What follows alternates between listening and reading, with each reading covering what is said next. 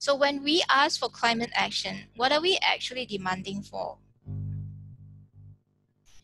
So I just want to bring to you a quote from uh, a friend of mine.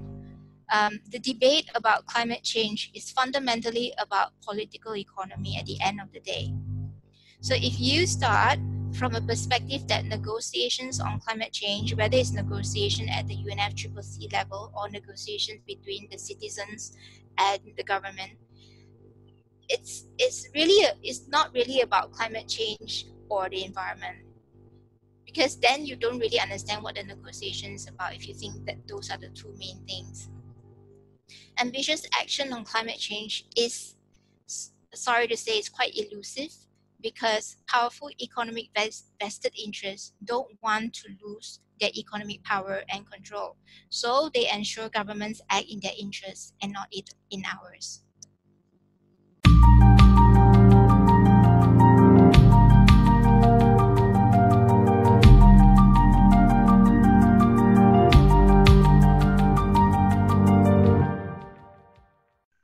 you, Sama, for the very illustrious introduction. I hope I live up to the hype. but thank you so much, all 60 of you, and there are some more in, on Facebook Live who have uh, dialed in and joined us this evening. Uh, thanks for coming on time, and those who are joining, welcome to Jedi's fourth uh, Zoom meeting. So, um, before without further ado, let's just dive into um, the presentation tonight we have a lot of grounds to cover, but I hope that at the end of the night, um, there will be one takeaway message um, for all of you here today. Um, right, let me begin. So as you all know, uh, the title for tonight's presentation is What Does Climate Action Look Like? And I believe um, every one of you do have an inkling of idea or some kind of perception how that would look like to you.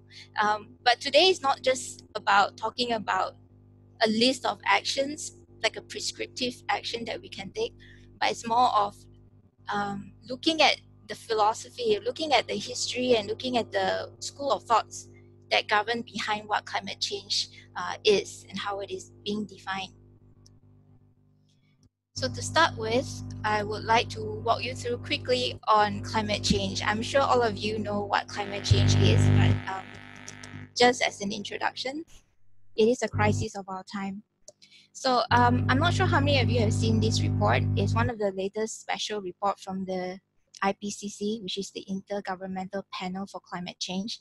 What it essentially means is that it's a, it's a group of scientists all over the world that sits down and look at existing scientific literature and come out with this report to advise governments and national uh, nations on what to do. So this global warming report um, global warming of 1.5 Celsius. So it was, um, it, the idea was thought during the uh, COP21 in Paris in 2015. So the, the United Nations Convention on Climate Change, UNFCCC, had invited the IPCC to produce this special report. So it studies the impact of global warming of 1.5 Celsius above pre-industrial levels and related global greenhouse gas emission pathways. So the key finding is this.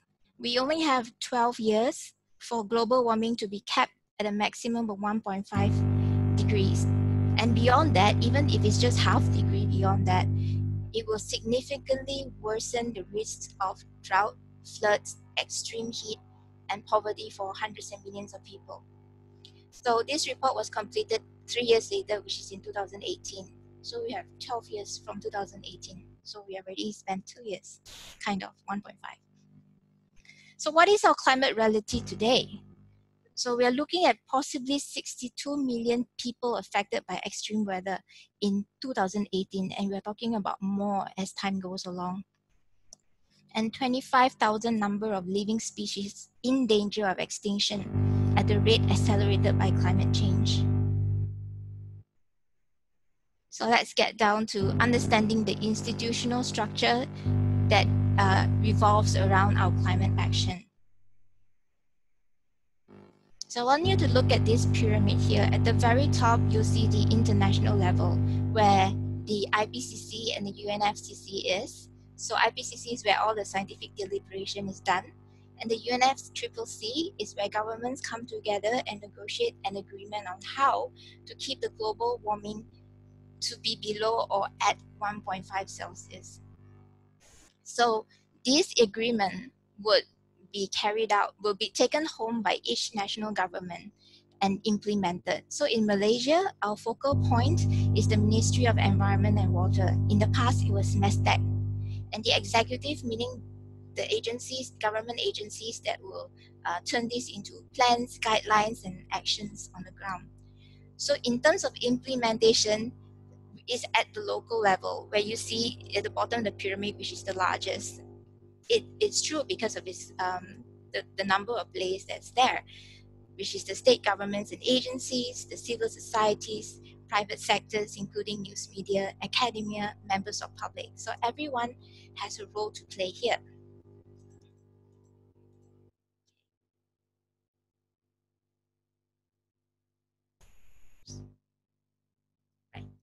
So what is Malaysia's commitment under the UNFCCC? Some of you may wonder. So it's always been this, Malaysia intends to reduce greenhouse gas emission intensity of GDP by 45% by 2030 relative to the emissions and intensity of GDP in 2005 as a baseline. So uh, to break it down, 45%, 35% is on unconditional basis, meaning this is what Malaysia will do. And a further 10% is conditional, meaning Malaysia to receive climate finance, technology transfer, and capacity building from developed countries. And this is um, enshrined under the Paris Agreement and the uh, UNFCCC. So at the 21st COP, which is in Paris, Malaysia has also reiterated its commitment to maintain at least 50% of the country under forest cover. So someone asked me on Twitter uh, just this evening, what is Malaysia's commitment um, in terms of forest cover?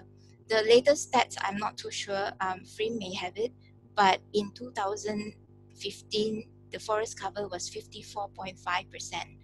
But it's very close to the at least minimum number uh, percentage of forest cover. So we need to be on the lookout here.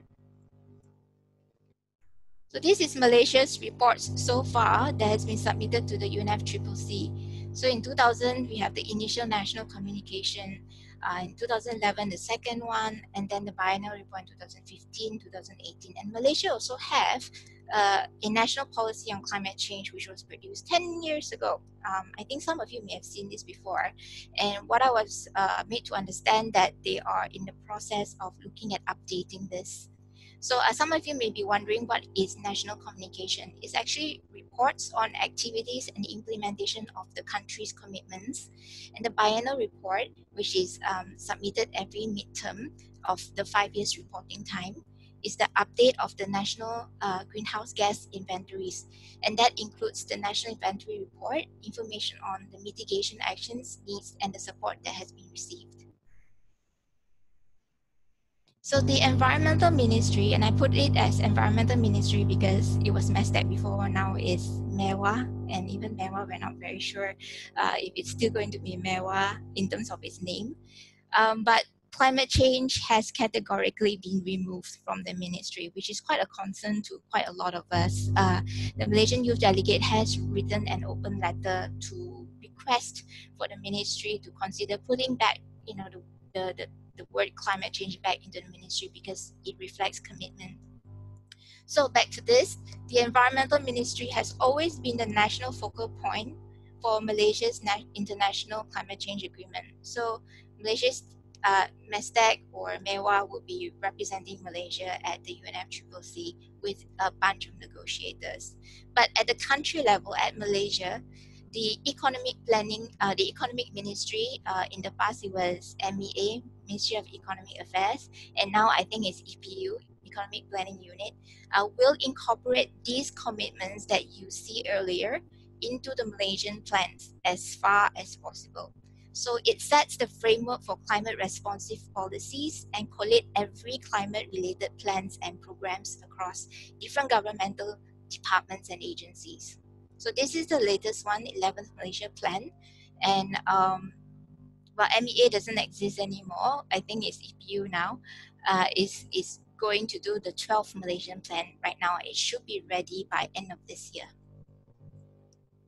So again, draw your attention back to the pyramid. Um, so materializing the government's international commitment depends a lot on how mainstream climate planning is across various ministries, including the State's Department and agencies. But to actually implement these climate commitments on the ground ultimately depends on how the local governments execute these plans, which is then highly dependent on available budget, expertise, and manpower. So the second part of this um, presentation is on climate actions and the key actors. Let's just um, identify where they are. So uh, just to take your attention back to the 11th Malaysia Plan, because this encapsulates what the climate action should look like in general. So the Economic Ministry aimed to decouple natural resource use and environmental impacts from economic growth through the RMK. And, and this is precisely taken out from the 11th Malaysian Plan. And to build resilience against climate change and disaster risk and mitigate environmental degradation, and facilitate the necessary governance to support implementation which is policy reforms, institutional framework reforms, enhancing enforcement and capabilities monitoring evaluation. And all these are captured in the 11th Malaysian Plan. So at the policy level, who, who makes it into um, like a directive? So in the past, uh, in 2017, we have KeTTHA, which is the Ministry of Environment, Green Tech and Water, which of course doesn't exist anymore, but it, it did produce something called the Green Technology Master Plan Malaysia. So this plan was actually um, an outcome from the Malaysian 11 Malaysian plan.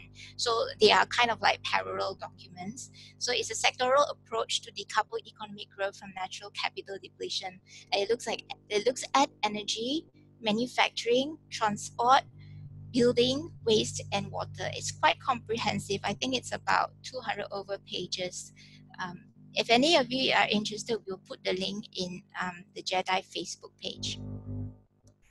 And these are just a summary of all the commitments. So as you can see in this report, is a, is a plan for 2017 until 2030. So uh, the sectors, sectoral approach, which is the energy, so as you can see here, by 2020, um, Malaysia aims to have 20% of renewable energy mix. And then in 2025, increase another 3%, and then in 2030, 30%.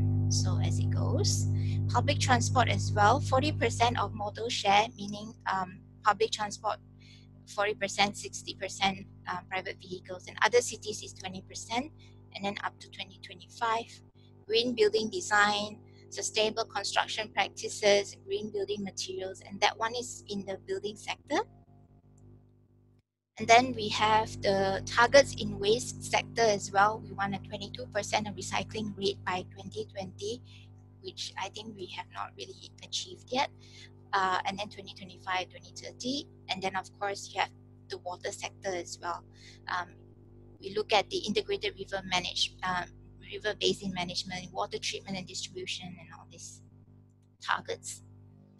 So bringing forward to something more recent, which is in 2019, uh, we have the birth of, I mean, we have MESTECC.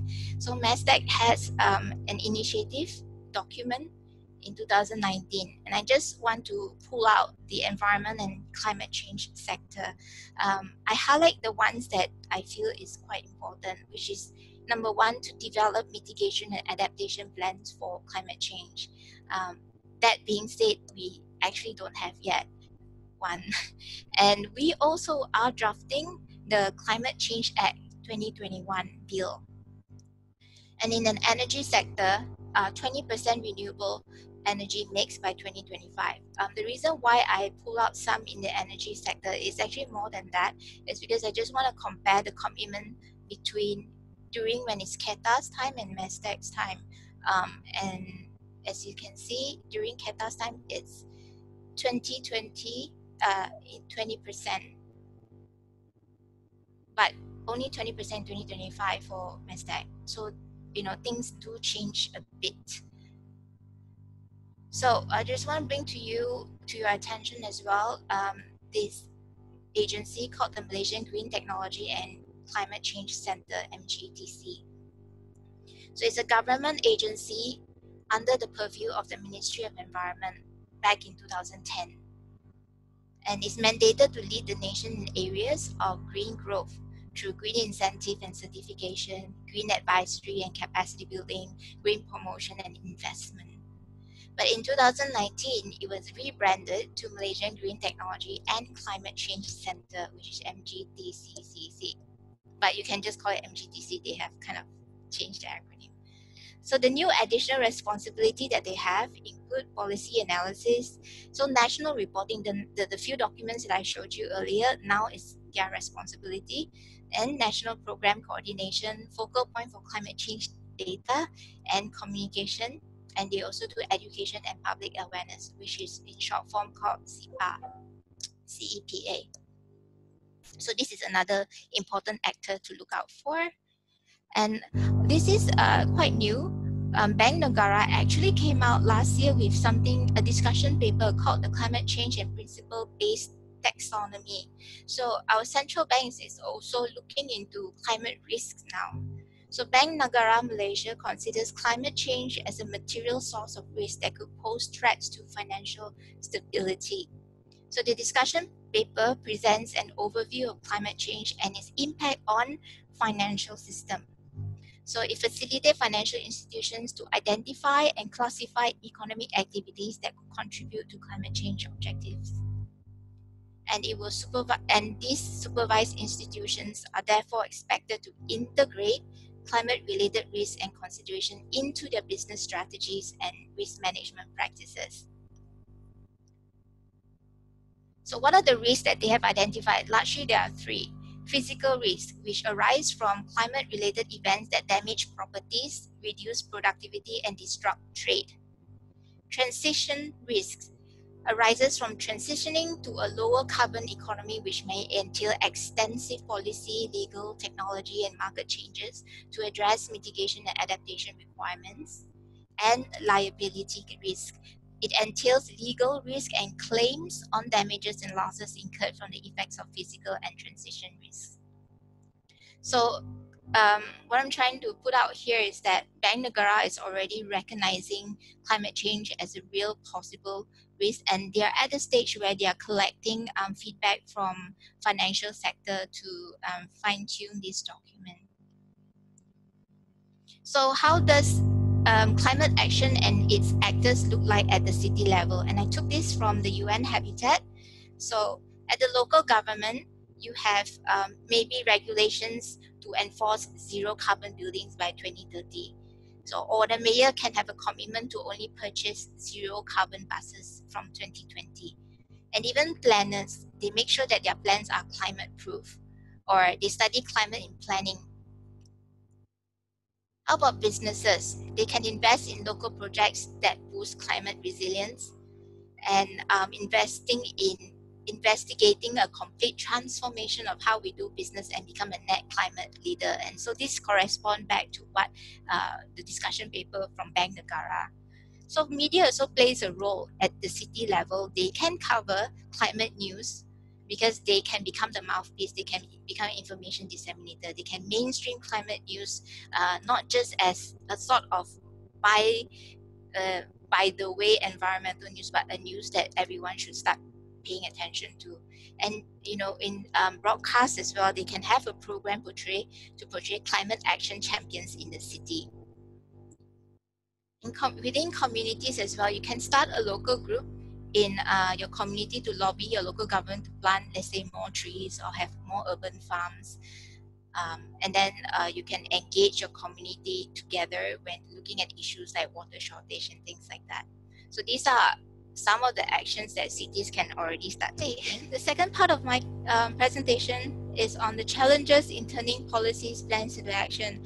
As you see before, we have all the plans and policies they're really good. They have captured all the essence of how climate action would look like at different levels, but there are still challenges, and let's get into them. So, although fighting climate change could boost the global economy as much as 26 trillion in economic benefits by 2030, most governments are frankly not yet convinced to spend billions now to save trillions in the future, especially when it demands fundamental structural changes. And it is even harder to convince governments to spend considerable amount of money on climate adaptation measures for problems they deem not yet apparent and provide no foreseeable economic returns when there are so many issues that demand the government's immediate attention. So let's look at the challenges faced by different actors. So let's start with information providers. So academia, research institutes like Academy Science Malaysia, NAHRIM, SIDPRI, and government departments do provide important uh, climate-related information, resources, and advice to government to shape national policies. But one, they are often hampered by the lack of robust data collection, which means you don't get the same discreteness of data in different states. Like if you want to collect um, data on forest cover, maybe a certain state start collecting the data from year 1999 and another state started in 2016. So you don't really have a good uh, data robustness and some the way they collect the data is in different methodology they're not streamlined and you must also understand that not all state government are have the same capacity to deploy people to be on the ground to do all these things. So and they also have limited avenue and opportunity to lobby this into action at the local level. So oftentimes they find that their role and their task stops there at advice. And whether or not the state government or the federal government take action it's, it's entirely sometimes out of their hands. And how about the ground movers? So majority of lobbying and advocacy for mobilizing climate actions on the ground, which also includes preventing harmful activities that exacerbates climate change impacts, usually come from civil societies and activists. But number one, their movement and their impact are often restricted by funding and manpower issues. Number two, they have limited or very superficial opportunity to engage in decision-making processes at the local level. number three, the public's indifferent perception of the role of NGOs in climate action actually uh, hampers their uh, support for them to move forward because you need public buy-in to the things that you do. And thirdly, but not the least, political leadership, as we all know. Malaysia can definitely achieve more in terms of climate action, but it often lacks strong and sustained political will that is necessary to scale up nationwide climate action. So, one, good policies and plans may be in place, but not well streamlined across different agencies. The budget may not always be available, and priorities is usually on reacting to immediate problems, not on taking proactive actions and the public in general does not prioritize climate actions as key measurement of the government's performance for different reasons because like i said before climate change is still an abstract concept at best. If not some have different interpretations of how climate change is or is it climate crisis or you know um, so it's it's not it's not something so mainstream in people's consciousness yet and and of course people prioritize having jobs um, economic growth having a house affordable homes. So climate change is really probably at the bottom of their list most of the time. So challenging the powerful economic vested interest is to take a hard honest look at system change in ourselves. What do i mean when i put this out so climate action again. While indeed, well, every individual must play their part, however big or small it is, we must also understand that there is no amount of plastic bags that can be avoided in our entire lifetime, or a stringent practice of zero waste and low carbon mobility lifestyle would ever be sufficient to offset the scale of damage that exploiters and polluters, such as fossil fuel industry, rampant agriculture industrialization, unsustainable urbanization, among others, are still allowed to continue doing what it does to the climate and environment.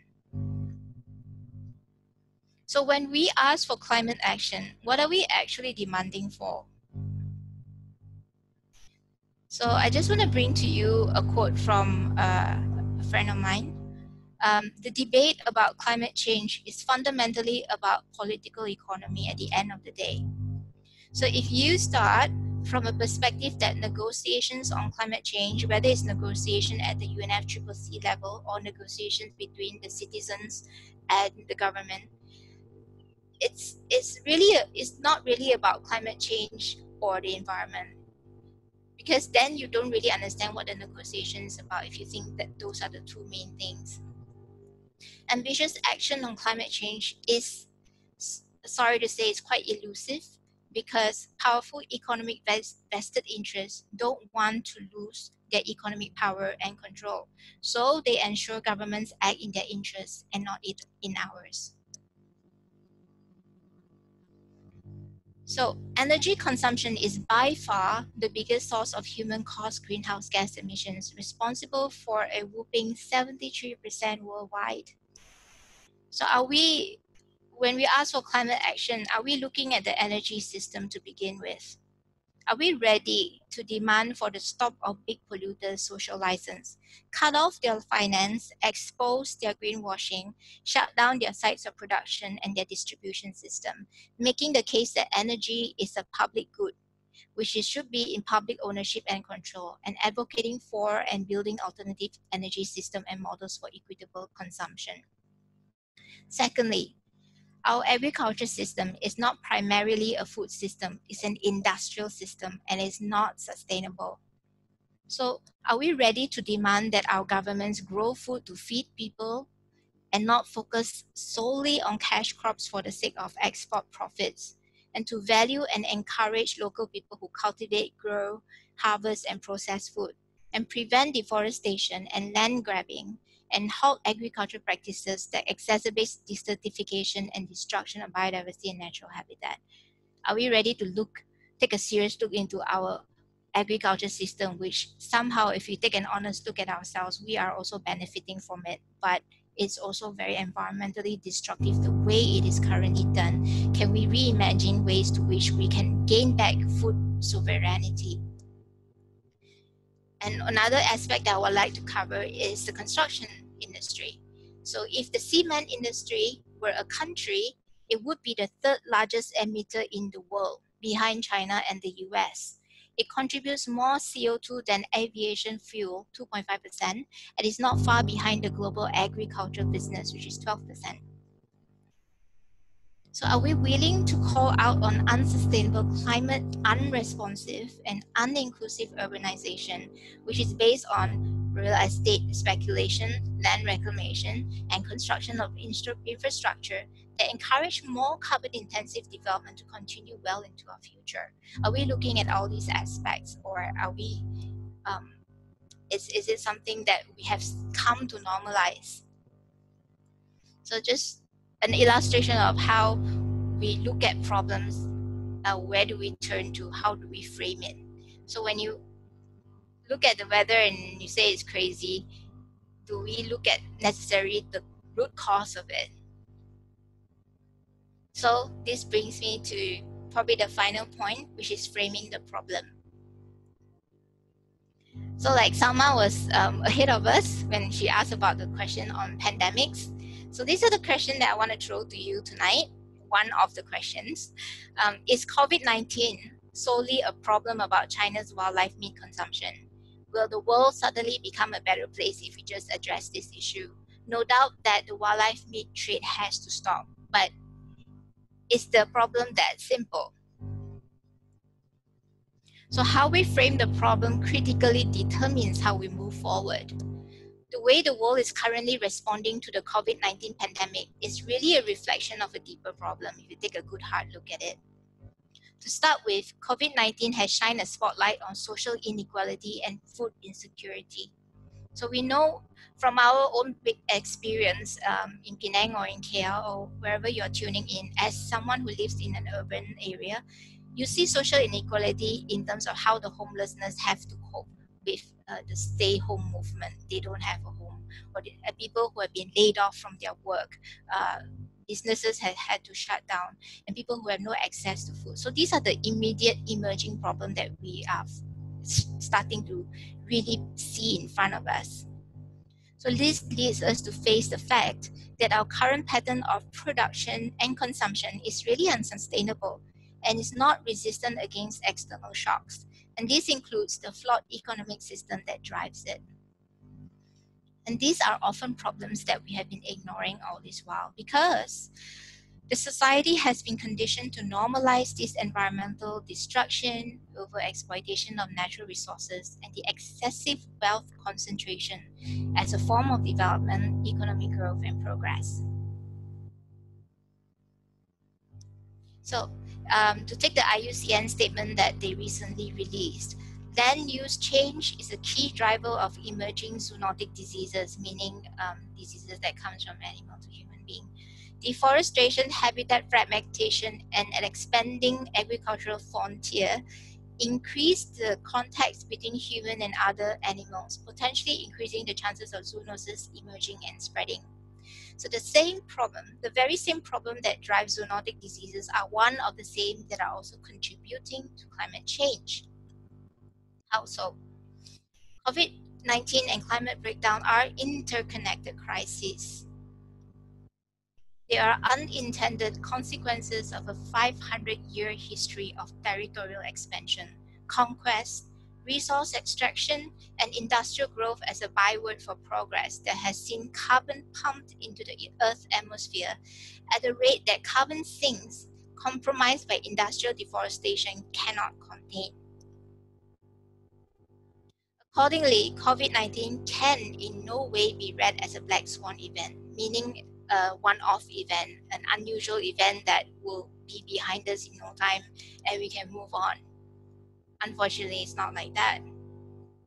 We'd do better to understand it instead as a kind of initiation into a new era of crisis, intrinsically connected to the extremist models of growth that dominate our global economy and the ecological imbalances that they bring.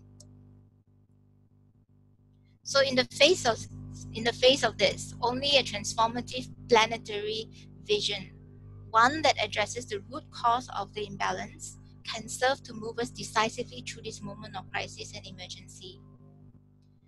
Though what will become increasingly clear to us all as this particular crisis unfolds is that there is no path to ecological restoration that doesn't begin by putting political and economic goals of social justice front and center. What this really means is put people first. So climate change and COVID, people have already made that relationship. It's not something made up. As you can see in certain news, there are headlines like climate change won't stop for the coronavirus pandemic. Like what Salma just brought up uh, earlier, that while we are focusing on COVID, there's a bigger issue coming um, really soon, if not already here climate change is exacerbating risks stressed by coronavirus. Climate disasters already displaced 7 million people this year, nearly as twice as many as conflicts. And climate change will affect water availability, alter food production. And this is uh, quite a recent, I think it was just released today, this article about paddy farmers worrying more about droughts than virus. And this is um, Malaysia. So the source from Muda Agricultural Development Authority, the outfit that oversees and manages almost all paddy fields in Kedah, have confirmed that there has been indeed a serious water shortage. And some of the farmers, which I was, I mean, some of the WhatsApp group, confirmed with me that it has been at least a month that they are facing no water in the dam. So the Muda River and Ampang Jaja Dam both has inadequate water to supply all of our granary areas for now and despite its centuries-long agrarian roots, Malaysia is one of the two rice-producing countries in the region, the other one being Philippines, that has been unable to farm enough rice to feed its ever-increasing population. And I think if you want to learn more about this, please uh, watch Dr. Kam's last week's presentation about food security. You have more interesting data from there. So if you think people fighting over toilet paper looks bad, wait till they're fighting over food. This is a, a, something that George Monbiot just said. So Bank Negara discussion paper, which we have gone through earlier, quoted a study that gives us a glimpse of Malaysia's climate vulnerability. So the impact of physical risks resulting from climate events and natural disasters have been significant. In Malaysia alone, more than 50 natural disasters in the past 20 years have resulted in over 8 billion ringgit losses and more than 3 million people affected through displacement, injuries, and death. And this does not include the, the um, problems that will arise when food crisis um, becomes even more apparent and water crisis. So really, this is our new normal. Um, I don't want to be alarmist, but I think it is important for us to be to be really sober about our current situation. It would be a huge waste of opportunity if we only focus on going back to the normal that we used to know before COVID-19, instead of taking this time to reflect deeper on our rapidly changing future. Whether you think about it or not, the change is already happening. There is just no post-climate change to revert to. People may be talking about going back to normal when COVID MCO restriction is lifted. But for climate change, there's no, you know, control Z, no undo button. The climate risk will be long-term and in irreversible. And public apathy, the lack of concern towards structural inequalities and system change will bring dire consequences.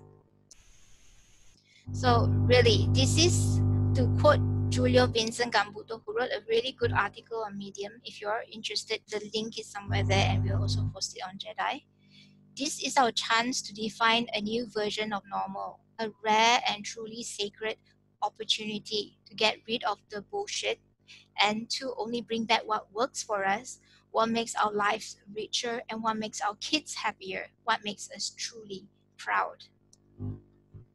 So my question, last question back to you is this.